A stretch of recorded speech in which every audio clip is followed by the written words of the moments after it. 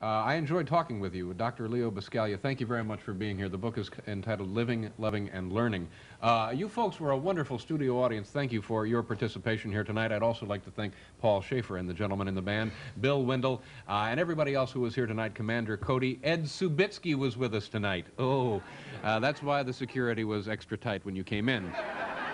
Uh, oh, also a, uh, special thanks to uh, Mr. Joey Bishop for being here. And on Monday, uh, I'd love to tell you who we have here on Monday, but uh, as of this uh, moment, it's the highest level security again, so can't pass that data on. Just how much more time need I to fill? No one has any idea?